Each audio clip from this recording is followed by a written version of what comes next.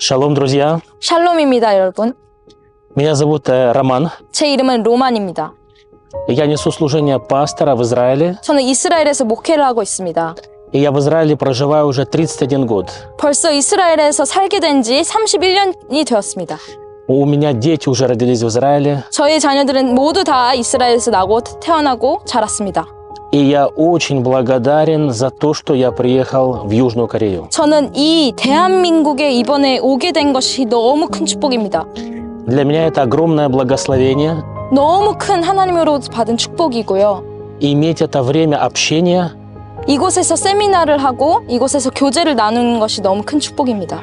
и изучать пророчество последнего времени, 그리고 마지막 때에 대한 계시를 특히 배우게 된 것이 너무 큰 축복입니다. которые связаны с судьбой Израиля. 그리고 그 마지막 때에 대한 계시는 이스라엘과 관련 없는 것이 아니라 이스라엘과 너무 관련이 있어서 더 제게 축복인 것 같습니다. Мы очень переживаем за судьбу нашего народа. 저희는 지금 이스라엘에 대한 그 계시를 계속 열어가야 하는 시기에 이- 놓여 있는데요. И нам очень приятно, что в Корее есть такие люди, которые очень любят Израиль.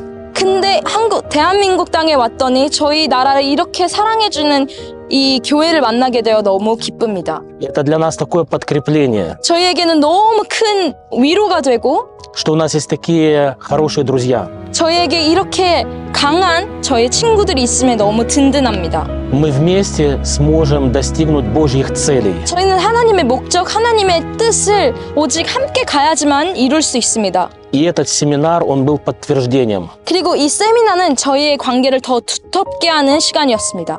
что Бог в последнее время будет очень активно работать с израильским народом. 그리고 하나님께서 이스라엘 이 마지막 때에 얼마나 강력하게, 얼마나 어, 능동적으로 사용하실지를 알게 되었습니다. Большое спасибо пастору за ваш прием, 그래서 목사님께 너무 감사드리고 이 섬김에 감사드립니다. за то, что вы так о нас позаботились. 그렇게 저희를 어, 섬겨주시면 너무 감사드립니다. Да благословит вас Господь. 그래서 하나님께서 여러분을 축복하시기 원합니다. Мы вас любим 저희는 여러분들을 너무 사랑합니다. и очень дорожим этими отношениями. 그리고 이 관계가 너무 귀하다는 것을 느끼고 있습니다.